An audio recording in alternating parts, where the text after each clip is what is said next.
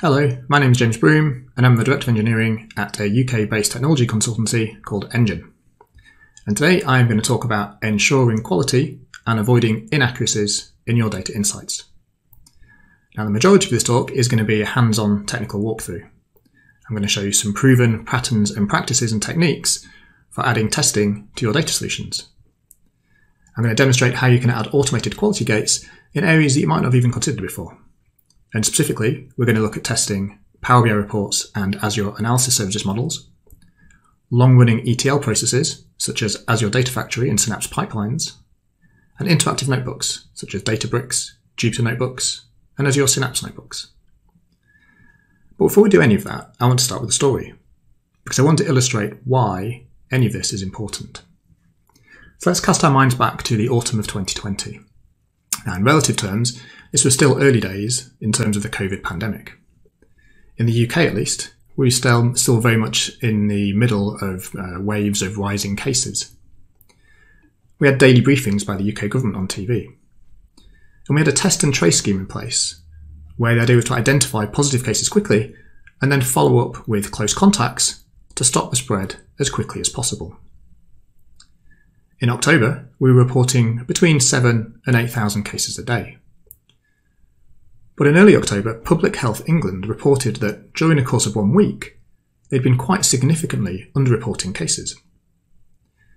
They'd reported around 50,000 cases, and it turns out there were a further 15,000 that had gone unreported due to an IT error. So about a quarter of cases were going unreported for a week. It took them eight days to realise this mistake and then correct the figures. And during that time, there was around 2,000 cases being unreported every day that were being missed. So clearly this was a big impact. Thousands of people were totally unaware they'd been uh, potentially exposed and potentially and unknowingly spreading the virus even further. So something had gone wrong somewhere. And what had gone wrong was this. Due to the immense time pressure to get this process up and running, the testing results were being provided in CSV format from the various uh, testing bodies and then collated in Excel in order to report the aggregated results. And for some unexplained reason, the legacy file format of .xls was being used rather than .xlsx. And this meant that the Excel worksheets had a limit of 65,000 rows of data. So the aggregated results from the CSV datasets were being truncated at this limit what was interesting was how this was being reported in the UK media. It was essentially being described as a technical issue, and even more than that, Excel was being blamed for the error. But there was no bug in Excel, it wasn't Excel's fault. The 65,000 row limit had been present, uh, present in XLS file formats since the 1980s, and it was well documented uh, if you went and looked at it on the Microsoft documentation. What actually went wrong was that nobody had tested this process. Nobody had validated that the actual outputs matched what was expected, given the known set of inputs. So it wasn't a technical issue, it was a people and process issue. Nobody had stopped to, check, stopped to check if the numbers looked right. And by the time they did, the impact had already happened. Now, I'm guessing most people listening weren't or aren't responsible for collating figures for a global pandemic, but some of you might have been. And if you're not, there's every chance you're working with other data sources that easily could have an impact on, uh, on human health for example, algorithms for self-driving cars, results of clinical drug trials. And if not potentially dangerous in a life-threatening way, I'm guessing at least some of you do work with data that has an impact on a personal level, such as mortgages or loans or credit card scoring. Maybe in the criminal justice system, or approval of visas or residency applications, or a billing process for utilities or subscription services.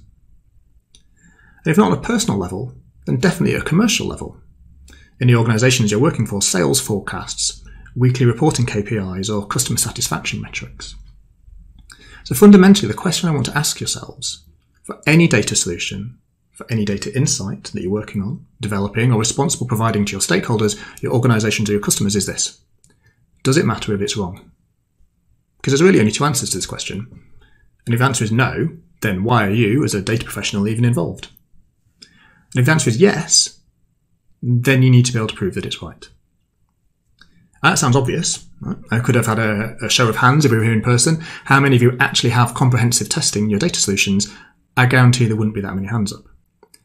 And I'm prepared to stand by that statement because I've been a consultant for over 20 years and I've had the privilege of working with many great teams in many successful organisations across many industries, even across three continents.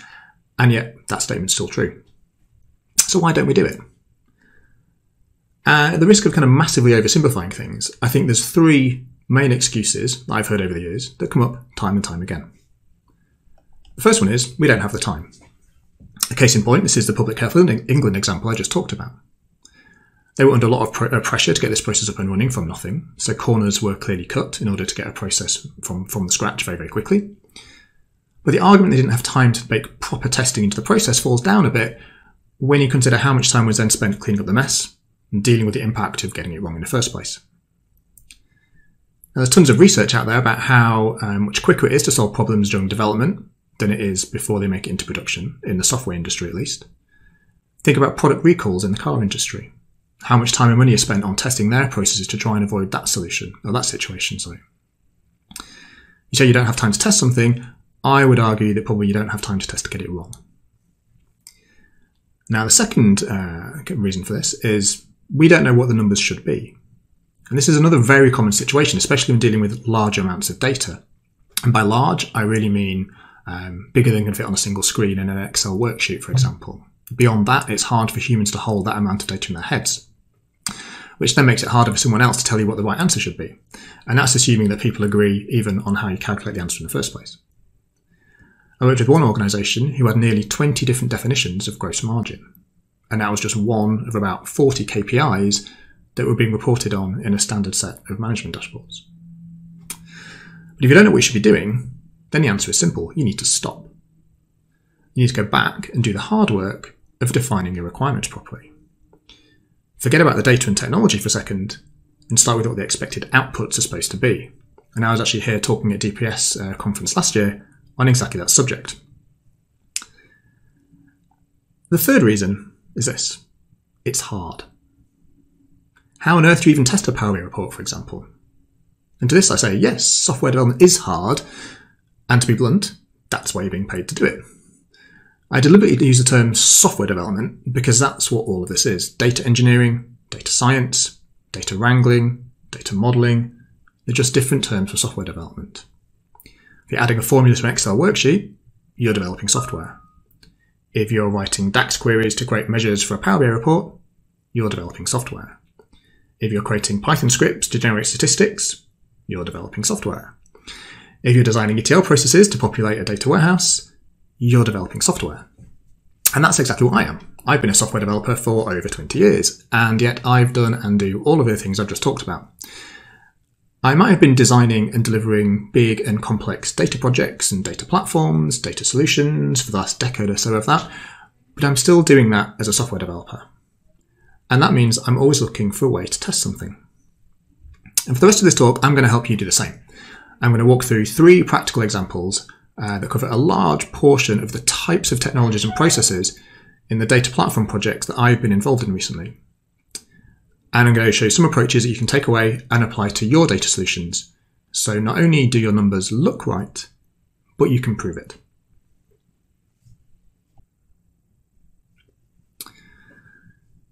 So in the first demo, I'm going to walk through an approach that we've taken to test Power BI reports, as well as analysis services databases, by validating the calculations and the data in the underlying tabular models. I'm going to use Power BI throughout the demo, but everything I'm going to show is equally applicable to analysis services. Now, as a reminder, there's no official support or recommended approach from Microsoft about any of this, so the approach is based on endjin's experience and recommendation.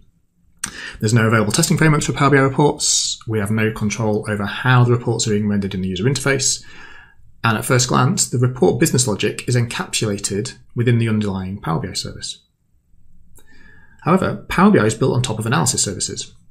The general direction of the team and the product over recent years is that Power BI is eventually becoming a superset of Azure analysis services. And whilst an analysis service model is an in memory compressed BI data cube, it's essentially just a database. Admittedly, it's not a relational database, but a database nonetheless. So we can connect to the tabular model using client SDKs or APIs, then we can execute queries over it to test what's inside. And everything I'm going to demo is based on that approach. But before we go any further, there's a couple of big caveats to point out. So number one, we are testing the tabular model only and not the visualization layer of Power BI. So by validating that the measures and the calculated columns and the data modeling are working as we expect, we're effectively testing uh, the business logic in our data application, but not the presentation layer. And number two is we don't have control over the DAX queries that are actually getting executed by the Power BI visualizations themselves when the report is loaded. So any tests that we do execute are merely simulations or, or replicas, if you like, of what the report is actually doing. However, uh, it is possible to intercept the DAX that the report is generating. Um, so those queries can be used in the tests themselves if you need to. So the simulation is as close as possible to the real thing. However, even with those caveats, we found there's a huge value in writing and running tests over the tabular model to test the business logic um, that's been added into the data model. Whilst the, visualization, that, whilst the visualizations themselves are also important, the right visualization, the right position, showing the right data points, having the confidence that the calculations behind the data points is what really adds confidence to a data solution for the most part, it's a reasonable assumption to make that the visualization layer is going to be working as you expect, generating the max DAX queries. So we can focus on testing that the schema and the data in the model are correct. So let's open Power BI. And I'm going to use a sample report that I've just taken from the Microsoft website. And whilst that's loading up, I'm going to remind you that behind every Power BI report is a tabular model. And that, in effect, is an analysis services database. When opening a Power BI report in Power BI Desktop, what's actually happening behind the scenes is a local instance of analysis services is actually being started automatically. And you can find that out by using a tool called DAX Studio, which is an external tool that's freely available to download from the internet. And once the Power BI report is opened, if you have DAX Studio installed, you will see it under the external tools menu under here and can open it very simply like this.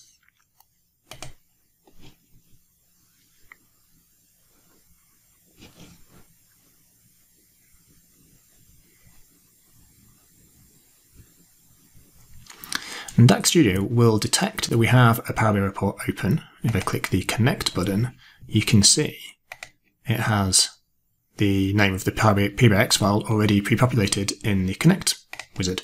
And I click Connect, we're going to connect to the model in that report. But the interesting thing is, down the bottom right hand side here, you can see it says localhost port 53562.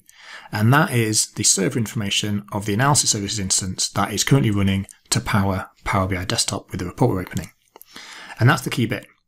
Because if we can get that, we can create a connection string using the .NET SDKs and open a connection to the analysis services database. And that means using third-party tooling like DAX Studio, but more significantly in this case, our own code, we can create a connection to the tabular model, and then we can start to write some tests against it. Now, once we've uh, developed a model and developed a report and we want to publish it up to the Power BI workspace, what's even better is that we can do the same thing in the Power BI service. Um, a couple of years ago, Microsoft exposed um, a, an, an endpoint, if you like, in the Power BI service called the XMLA endpoint. And we can use the same tools, the same .NET SDKs, to connect to a Power BI report in the Power BI service by changing the connection string to point to the XMLA endpoint. And that can be found in the workspace settings panel for any premium enabled workspace. So there's a restriction around this. The workspace needs to have a capacity assigned to it, either Power BI Premium or Power BI Embedded, or nowadays through a premium per user workspace. But if you have the XMLA endpoint enabled, it means we can use the same code that writes our tests with the same connection process, just changing the connection string either to point to our local analysis services database or the XMLA endpoint available in the Power BI service to make the connection. And although I just mentioned .NET SDKs, and I'm going to start by going down that route, a bit later on I'm also going to show you a different way that you can query the tabular model without the need for any SDK, just by using REST APIs, meaning you can do this in any programming language or technology. So for the first demo, we're going to use C Sharp and .NET. This is just one way to achieve this result, and as you'll see, C Sharp isn't a prerequisite. And as we go through the rest of this talk, I've deliberately picked a different technology and toolset for each walkthrough to show you that the approaches I'm demonstrating aren't tied to a specific programming language or testing framework. So first of all, I'm going to switch to Visual Studio to show you how we can write some tests against our Power BI desktop file that is running locally.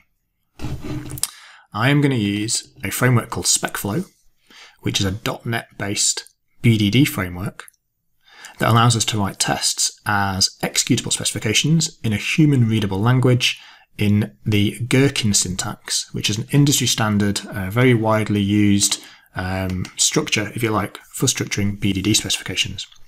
And the whole thing about BDD, which stands for Behavior Driven Development, is to describe the behavior of your system in a very easy, human readable, plain English or, or other language of your choice uh, format. So, uh, to aid easy collaboration between the technical users who are developing the system, in this case the report, and the business users, so in this case maybe the business analyst or the, the end users ultimately who understand the domain of the data. And because we're testing Power BI reports in this case, our language talks about the things that we would find in our data model. So measures, uh, results, filters, and that kind of thing. So you can see I've described here quite a simple set of scenarios about the data model behind our sample report. If we go back to Power BI, this is the retail analysis sample that contains sales by stores over geographic areas. So We've adopted uh, an approach where we have a feature for each report. So this is our example report feature. And our first scenario is around total sales. The total sales measure is probably one thing we want to add into this data model. Imagine we hadn't created our report yet and we're starting to do some data modeling. When we query the total sales measure, then we expect the result to be this particular value, in this case rounded to two decimal places. This is absolutely something we could discuss with the business. We could talk about how do you calculate total sales, um, what's the expression that needs to go behind that measure in order to validate that particular KPI. We've made an assumption that the report is kind of loaded with a known set of data. In our experience, that's a fairly good uh, uh, way to work in this kind of model. Um, clearly, we could write some code that would automatically load data into the data model, reprocess the data set, refresh everything, and, and do that every time. We found that to be quite a heavyweight process, and actually, what's a much better thing to do is to work from a known uh, static set of test data that's that's much more cut down, simplified, and smaller than what you might have in production. That allows you to easily kind of uh, verify calculations and measures, you know, outside of Power BI as well as inside of Power BI, and work collaboratively between you know someone who understands the data and the person who's kind of developing the report in parallel. So if we assume there's a there's a set of data in the report that we know about, and once we understand how our total sales measure is calculated based on that set of data, the result should be this particular value, which is about 45 uh, million uh, uh, pounds, I guess, or dollars, whatever, whatever the currency is in, in this case. So that's a very simple kind of test that we've got, total sales across the whole data set. The next logical thing to do, given this is an interactive report, is we might want to filter that down by something. You know, Power BI is, is, is designed to, to slice and dice the data. So how do we do that? Well, we'd apply a filter. So we've seen in our report that our data model is a, is a, is a retail based one and we've got some stores. So what would happen if we wanted to filter the stores down to say we can choose a store here called Lindseys? Well, if we just want to look for the data for Lindseys. So let's expand our scenario language a bit further. And in this case, let's say given we have the following filter applied. So we're now talking about setting up the scenario in a different way. And we've defined now through that process that we've got a table called store, a dimension table, that has a property called chain, and in this uh, in our known data set, we have a, a store chain called Lindseys. So given that we have filtered stores down to Lindseys, now when we query the total sales measure, what happens? We would expect the value to be different because now we're just calculating total sales for Lindseys. So we can prove all this if we go back to the report, and I've actually added an extra page into the sample that shows total sales. We've got a little uh, table up here that allows us to do Lindseys. And we can see that when we apply the Lindseys filter, it goes down to about 13 million. But clearly Power BI is showing a much kind of uh, simplified, kind of aggregated uh, and truncated view of that actual value. If you want to see what that was like for real, we could use something like DAX Studio to execute a query for real. What I'm going to do first though is run the test to see what happens. Now behind the scenes, SpecFlow allows us to generate, in this case, C-sharp code to actually run code um, to execute these statements that we're making. If we open up our C Sharp file, we can see we have methods behind each of those uh, definitions, we call them, in our feature file, that actually do something. So when we say, when we're going to add a named measure to our query, we have some code that does that. And what we're doing behind the scenes is just building up a DAX expression dynamically. So when we add a measure in, we add the name of the measure in the syntax that you would if you were executing the same query in DAX Studio. When we want to add a filter, we do the same thing. We start to add uh, extra syntax to our, to our DAX query expression, in this case the filter table name and the filter statement. And by the time we say that we want to run the query, what we've got is a dynamic expression that's built up that evaluates into something that looks a little bit like this. It's a simple evaluate statement with a simple summarize column statement, and in the body of that expression, we have the columns we want to pull back, the filters we want to apply, and the measures we want to pull back. So let's start by running the test to prove it passes. I will need to update my connection string to point to my local Power BI desktop environment. So I go back to DAX Studio.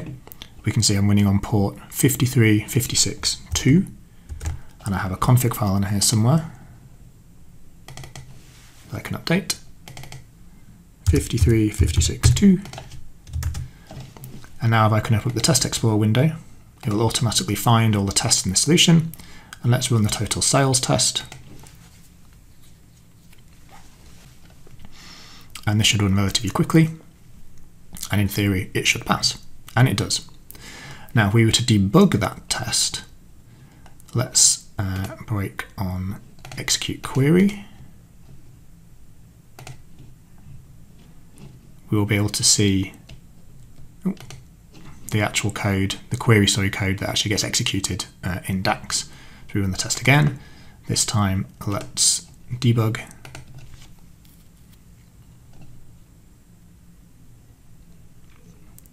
and the code will breakpoint here. And if we see the query, we can see the DAX expression that's actually being generated. So we go into DAX Studio, we can actually paste that directly in. It looks a little like this. Evaluate, summarize columns, total sales, total sales, and we run it. And we can actually see the actual value that's being returned from the data model, which we can see over in the left-hand side here, which is 45 million and a lot of decimal places. If we do the same thing again with the filter applied, we'd see a much more complicated statement because it would have filter expressions in it as well. Now, so far we're using Visual Studio, we're using .NET, and we're using what you can see here on the screen, the ADOMD .NET SDK. So this solution here, this testing kind of framework I've designed, is limited to running in .NET. It requires the analysis services SDKs that are only available in .NET. But we have another option. Because whilst Power BI is a Microsoft based tool, it's clearly used widely enough to be prevalent in environments where .NET and C Sharp isn't used at all, either due to team skill set or wider technology choices, for example. Um, and because of that, we need a different way of doing this. And um, sort of the end of last year, Microsoft um, enabled a new capability in the Power BI REST API called the Execute Queries API endpoint. And if we look at that, here's the documentation. So for any dataset that's been published into Power BI Service, we have an execute queries API that allows us to execute a DAX expression. And if you look, we have a JSON payload, and in the body of that payload is just a DAX statement, just like we were running locally over our Power BI desktop file.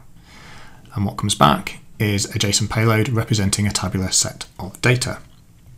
So it's very easy to replicate what I was doing in .NET and C Sharp and SpecFlow in another testing framework in another language that doesn't require .NET, that doesn't require the ADOMD .NET SDKs, and actually, instead of executing the queries that way, executes the queries over HTTP using the REST API and the execute queries endpoint. Now, the execute queries API has some pros and cons compared to using the .NET SDKs, and this can impact what you can and can't do from a testing perspective. So the REST API only works over the Power BI service.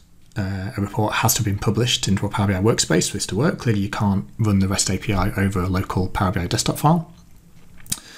That will implicate, uh, or that will impact, sorry, your kind of local developer workflow in terms of at what point you can actually start testing things. You need to push things up into the service before you before you can do that.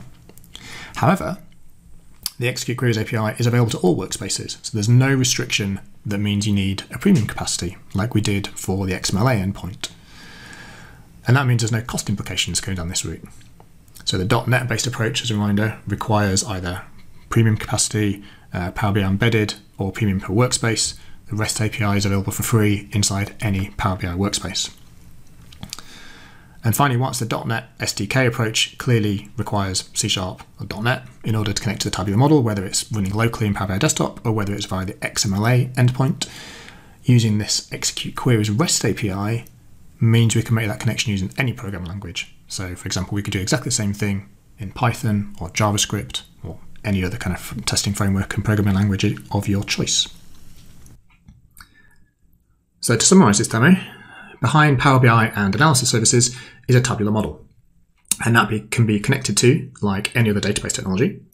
And this means that your schema, your data transformations, your measures, your calculated columns can all be tested to give confidence to reports and Power BI models. There's different ways to connect to the tabular model using .NET SDKs and using the REST API. And depending on which you choose, this means you can connect and run tests over a local PBIX file or a report published into the Power BI service. I've shown you how to do this in C Sharp and talked about how to do it in JavaScript using well-known testing frameworks in each domain, and hopefully you can see how you could equally do this in Python or any other language technology of your choice. So whilst testing Power BI reports isn't something that many people think about, it's absolutely possible. And if it matters if your reports are wrong, then it's absolutely something you should be doing.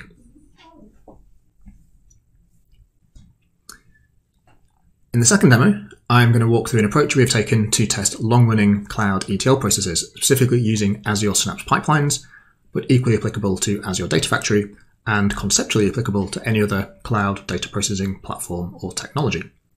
And there's a couple of very common challenges when testing cloud ETL processes. Uh, one, they might take a long time to run, by which I mean they're not instant. And two, they might process and output lots of data, making the results very hard to validate. Now, there are solutions and patterns to both of these challenges, which can be applied to make testing these long running processes uh, possible. The first one is pretty straightforward, and that's just to apply asynchronous polling patterns, allowing the test to kick off a pipeline and then periodically polling for completion. The fact it takes a long time might mean this type of test isn't something you want to run on every single source code change, but rather something that gets run on every release or even every night, for example. Second challenge can be overcome with a simple mindset shift in how you test the outputs. And we're typically used to testing or validating specific outputs or values. And that becomes hard when you're processing large amounts of data. And actually, I say large, even 10 rows of data with 10 fields would mean testing 100 different specific values. So there's two different methods we can use here, and both are equally useful in different ways. First one is called data snapshot testing. So it may be that we absolutely have to test every specific value in our dataset. And in that case, a technique called snapshot testing is very useful.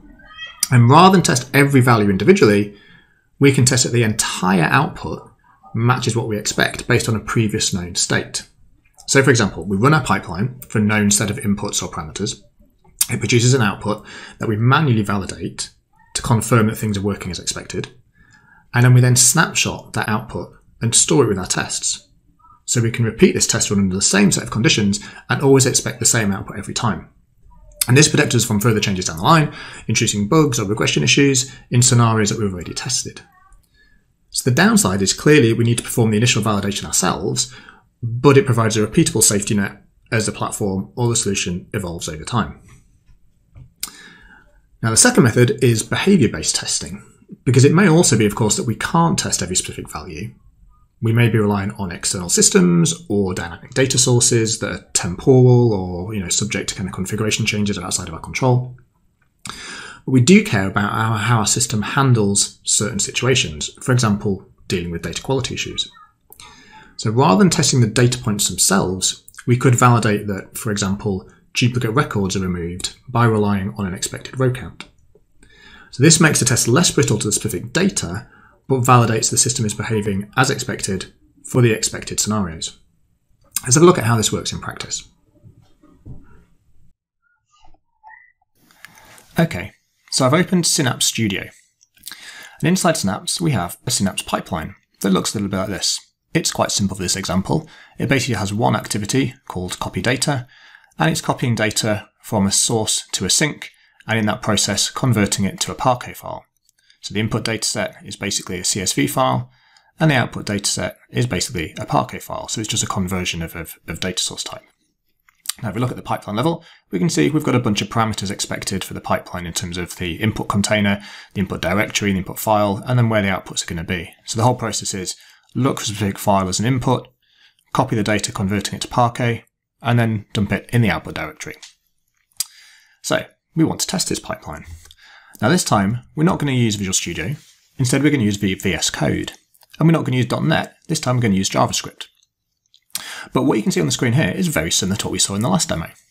This is a feature file again. We're using a BDD framework, just like in .NET and SpecFlow, although this time, in JavaScript, we're using Cucumber.js. And I mentioned that the Gherkin language was ubiquitous and kind of a standard uh, syntax across BDD frameworks, and this is this is proof of that. So Cucumber is a very very uh, well used uh, and highly used kind of BDD framework across many different languages, and this is the JavaScript implementation. And the last time we were testing Power BI reports, so the, the, the language of the spec was around measures, it was around filters, it was around data tables. And in this case, we're testing a pipeline. So the language is slightly different. And you can see here we have a feature around a pipeline that we're saying in order to build our reports based on the output of the pipeline, we need to automatically process the data from the data source. So in this case, we have a background, which is our kind of setup step, saying that we expect there to be a pipeline called demo pipeline behind the scenes, as you see in our code in a second, this is basically configuring a, a, a configuration, configuration value for what our pipeline is going to be called when we make a connection into Synapse. And we have one scenario, our golden path or our, happy path scenario, that the pipeline runs successfully. Our setup action is that the data process is going to be in this CSV file called sample sales data. Our act action, if you like, is going to be triggering the pipeline. And then our assertion is that the pipeline is run successfully, so we get a successful response, and the output data matches the expected result. So before we do anything, let's have a look how, uh, how this all works in practice. So given the data to be processed is sample sales data.csv. So in this test solution, we have a data folder with a demo pipeline folder for our demo pipeline, and we have a CSV file called sample sales data. And you can see it looks like this. So this is just some sample data I've taken from the internet, an open source database, uh, data source, sorry, with some sales domain data around uh, purchases in different kind of locations across the US. So I mentioned earlier that what's difficult about testing ETL processes is that often the input data and the output data are quite large. And what we're doing here is we are, um, in effect, defining our scenarios in the data input files themselves. So in this case, our sample sales data CSV file, that is the scenario. We're not manually keying in every different value that's going to go in. We're basically saying pointing it at this file. So we want to name this file in a way that represents our kind of scenario. So in this case, it's just a happy path. So just sample sales data is going to get processed successfully. Now we talked about snapshot testing. And the key thing here is that the very first time we run the test, we don't know what the output's going to be. There's going to be a manual step to begin with to validate that the pipeline is working as, uh, as we expect. Once we've run it once and we've validated that output, that output gets kind of locked in, if you like, to the test framework. So it actually gets committed to source control in this case. It's part of the, the, the code that we've got in this demo. And then every time we run it again since, it will auto- automatically uh, check the same results. And, and if nothing's changed, then the test will pass.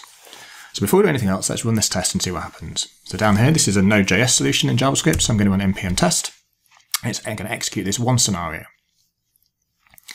Now, once this kicks off, we'll see the test running and I can talk you through what's going on.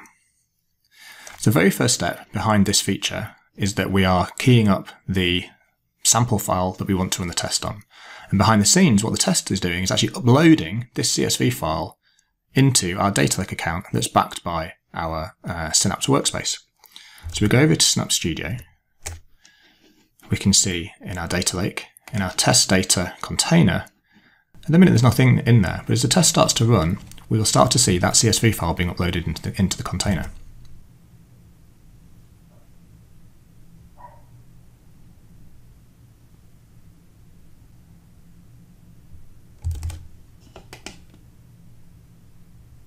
And I refresh the container now, you can see we have a folder called demo pipeline because we're testing our demo pipeline.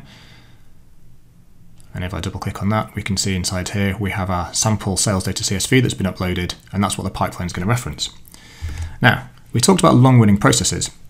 The actual pipeline itself isn't going to be instant, it's going to kick off and it's going to trigger and run. So if we go back over here and we go into monitor, we should see that our pipeline has started running. In fact, it's already finished. It took 13 seconds. But it could take a long time. This pipeline could be very complicated. It could be pulling in lots of data. It could be using Spark pools that take a few minutes to spin up, for example. But we can see here that we triggered the pipeline and the pipeline has run successfully. Behind the scenes, what's going on is our test framework is actually polling for results. So if we look in our pipeline helper, using the Azure SDKs for JavaScript, in this case, the artifacts client from the Synapse Artifacts NPM package, we can trigger a new pipeline run, and then we can just use a loop and poll whilst that pipeline's running and check for the response until it's finished. So this test could run for a few minutes, this test could run for a few hours, depending on your scenario and how often and how regularly you want to actually trigger the, trigger the, uh, the tests. So our pipeline has run successfully, and that means actually our test has also passed. And what you can see in that process is we've now got a file in our snapshots output folder. And what's happened is we are using um, a framework, in this case called Chai snapshot testing. So because we're using the Chai assertion framework for Cucumber.js, this is an extension that specifically deals with snapshots. Now I go into my step definitions file.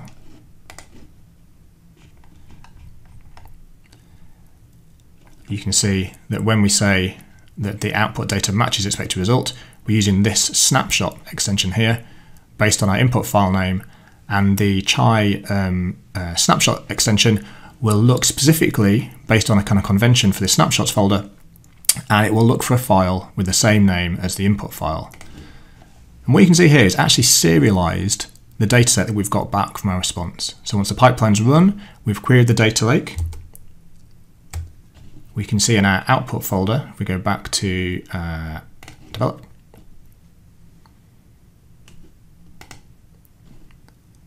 we will have our results. And remember, our results are being converted into Parquet files because that's all our, our, our pipeline, our copy activity is doing. So we have a demo pipeline output folder, and we'll have a Parquet file with a GUID that's basically been automatically generated for the test run. So the test framework is then querying that data back out, and when we call the snapshot extension method, it's basically serializing that data frame or that data set, if you like, to disk, and that's our initial snapshot. Now, at this point, it's on us to prove that that's correct. So, there would be a process with the QA team, with a business stakeholder validating that based on our input data that we passed in, is this the, is this the data that we expect coming out the other side? And every time we run this test, we run it again, our test is always going to pass because nothing's changed. But if something was to change in the future, we now have a, a safety net, if you like, that the uh, output is always going to be checked against what we've committed into our version control repository as the expected output. So this test first will pass because nothing's changed. Okay, but if we were to change something, and in this case, we could just change the input file, we now know that the output is not going to match what we expect. So let's change this value and run the test again. In this, in this case, we'll see a test failure. Now, in reality, it's probably not going to be the input file that's going to change. What's more likely to change is the pipeline processing itself. As new features are added, as new business logic is added, and as the pipeline kind of evolves over time, the point here is we are proving that we're not introducing anything that's already been validated and QA tested. And as you can see, our test framework has now reported that one of the tests was failing. And if we dig into the details here, you can see that actually it's calling out the expected value versus the actual value, so we can dig into the details.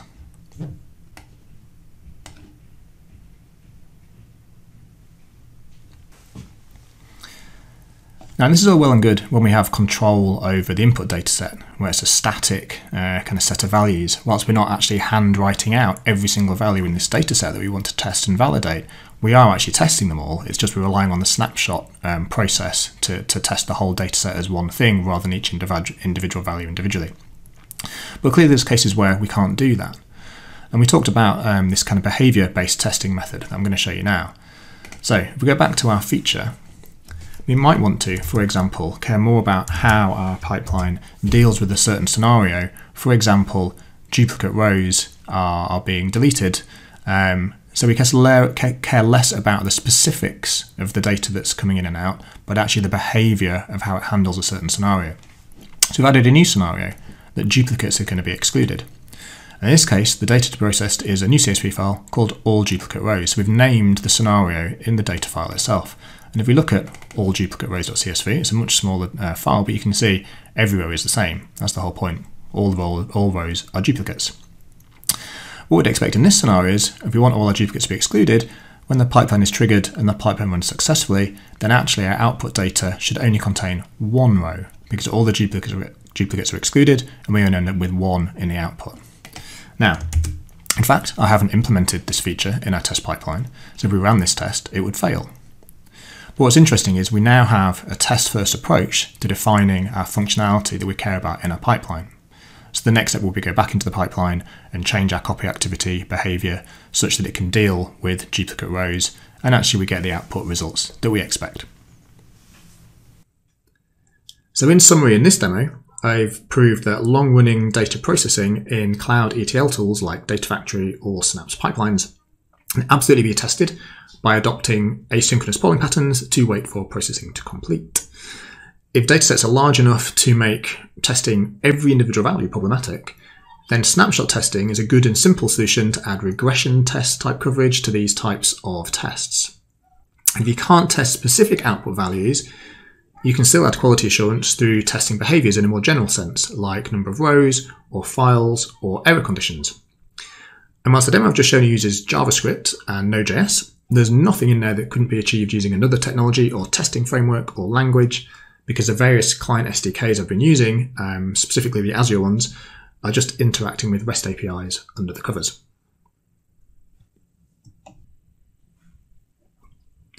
So in the third and final demo, I'm going to walk through an approach that we've used to test Azure Synapse Notebooks. As you probably come to expect by now, though, the approach is equally applicable to Jupyter Notebooks or Databricks. And notebooks are really interesting. We think they've been a bit of a game changer in recent years in the data and analytics space, as they allow for quick, ad hoc, collaborative, and experimental working patterns to be applied to data problems, which means they can be used to great effect in data science and data modeling. But they're also really useful in standard ETL processes. They act as living, breathing documentation of a process, allowing you to mix in Markdown and executable code side by side, meaning that data processing isn't locked away in a stored procedure or an SSIS package, but in a human readable format that allows for collaboration and understanding across a team. But that agility comes with a trade off. Because very quickly we've seen that notebooks start from the backbone of systems and processes that businesses start to depend on. And if business insights are being surfaced, then there's a need for quality assurance, because without it, inaccuracies in the data are going to end up going unnoticed. So let's open Azure Synapse and work through an example. So in our first demo, we're using Visual Studio and C Sharp.NET and SpecFlow to add test to Power BI reports. In the second demo, we're using VS Code and JavaScript and Cucumber.js to add tests to our Synapse pipeline. In this third and final demo, because we are testing notebooks, are we going to use Synapse Studio as our IDE? And the code and the tests we're going to write are going to be in Python, or specifically PySpark, which is the SDK and API to interact with the Spark runtime uh, in Synapse. So let's imagine we have a fairly simple use case. Uh, we work for some kind of sales organization that has um, some data around sales orders. And if we look, we've got a, a simple kind of uh, set of data here in a CSV file that has some orders by city and region within the US. And we're tasked with producing some um, aggregated kind of sales metrics and reports. And we thought, okay, a good way to start would be to use notebooks so we can explore the data and start to work on our kind of ETL logic. So we might start something like this. We might want to read the CSV data in into a Spark data frame from the data lake. Then we might think, okay, there's some, probably some simple data prep we need to do. For example, let's drop duplicates based on duplicate order IDs in the in the data that we've noticed. And then we might, might want to start thinking about, well, what kind of metrics we're we calculating? We want to group the data by region and start to sum up the total price. We can start to do kind of total sales by region. Once we've got that, we then want to save the output back into our uh, data lake so we can start to build some reports or visualizations or dashboards or alerts based on the kind of the, the, the sales metrics that we're calculating. So let's run this notebook to see what happens.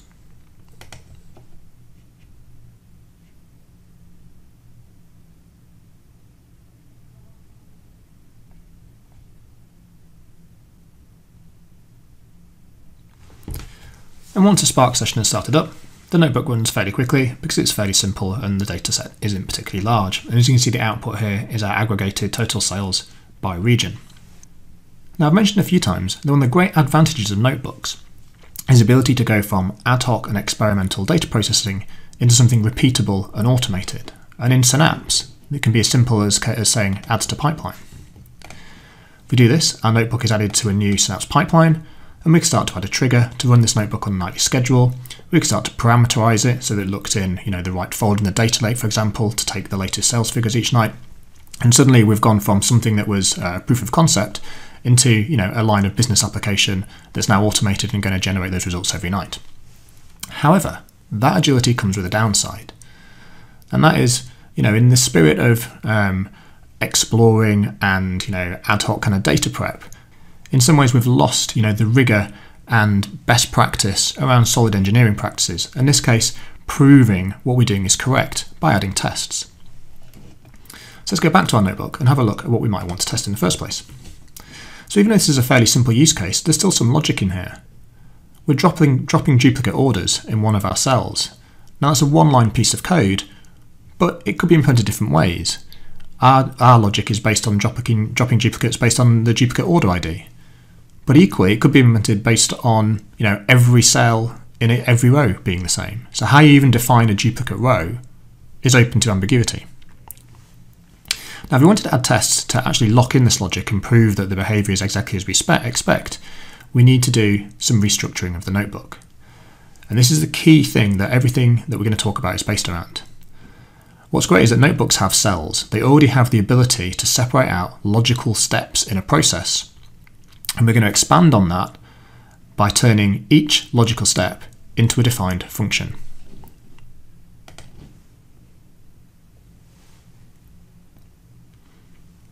So, in this next notebook, have exactly the same process, what we've done is wrapped each piece of code in a cell in a function, and we've named the function with the intention of what it's going to do. So we load the data. We remove duplicate orders. We calculate the cells by region, and we save the output back to the data lake. Now what's interesting, if we were to run this notebook end to end, nothing would happen. Because all we've done is define the functions themselves. We're not actually calling them. So in this notebook, we have one additional cell, which if you like, is the, the orchestration cell or the workflow cell, actually specifically calls into each of those functions in the order we want them to run, which runs everything in the notebook end to end.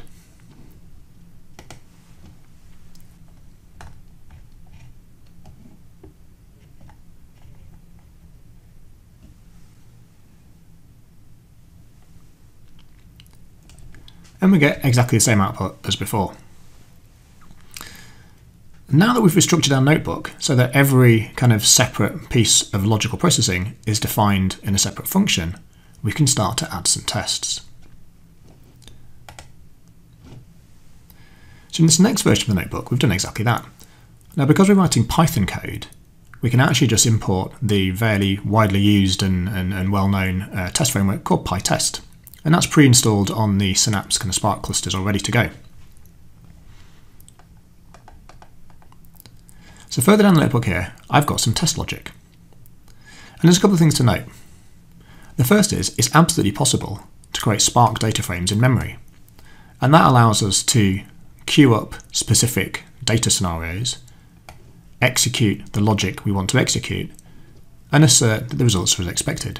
So we can follow a very standard unit test kind of pattern of arrange, act, assert. So the first thing we're testing here is that orders with a duplicated order ID are removed as per our remove duplicate orders uh, function. So we up a data frame that has two rows of data, and they both have the same order ID, even though the other fields inside the data frame are different. If we were to run this cell, we would only get one row back because the second duplicated, or duplicated row has been removed. Now, what's interesting about writing tests is that by writing a test for a certain scenario, naturally it leads you on to what else could happen. So in this case, well, if orders with duplicate order ID removed, what about orders that have a different order ID, but every other field is the same? What do we expect in that case? Well, according to our current logic, we'd expect all three rows to be returned. So we can test that as well.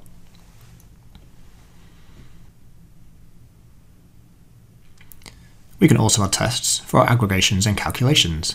In this case, we create four rows of data to add sales by different regions and confirm that they've been aggregated and summed correctly in our total sales calculation.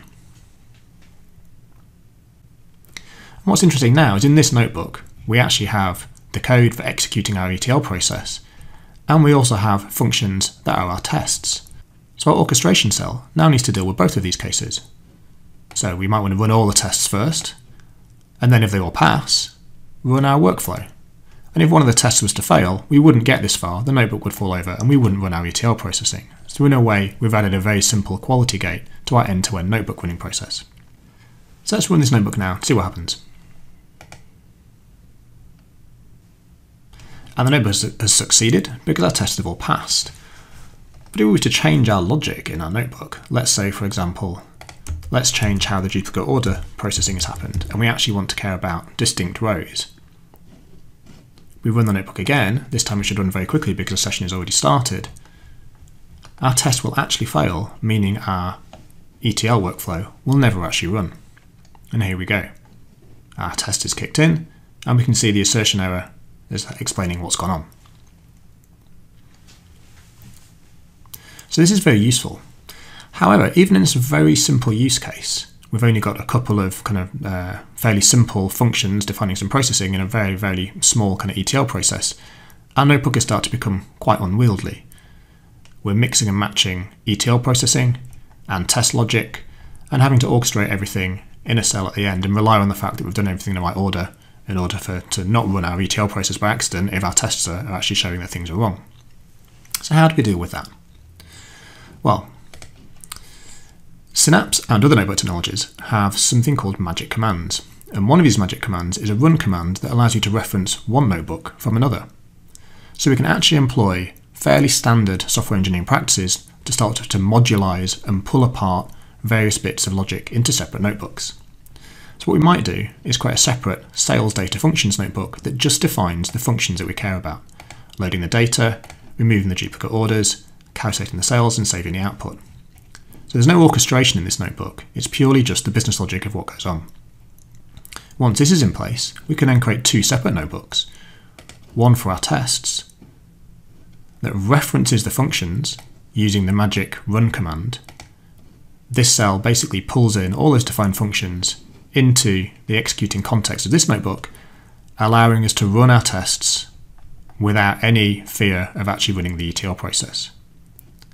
At the same time, we can actually create our ETL uh, notebook that is exactly the same thing.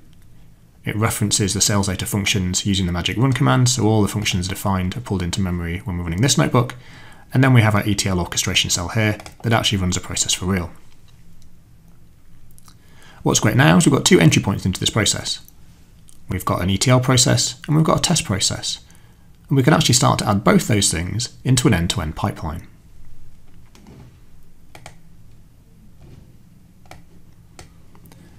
And that's exactly what this pipeline is doing. We've got two notebook activities.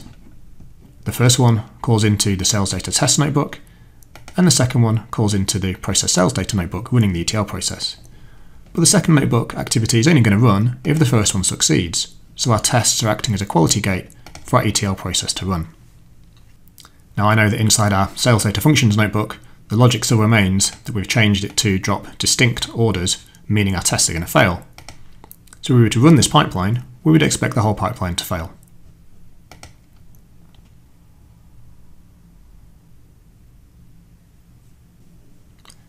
And it has failed, as expected. And we can even see in the outputs the error message of why it did fail. So we can go and debug and see what's going on.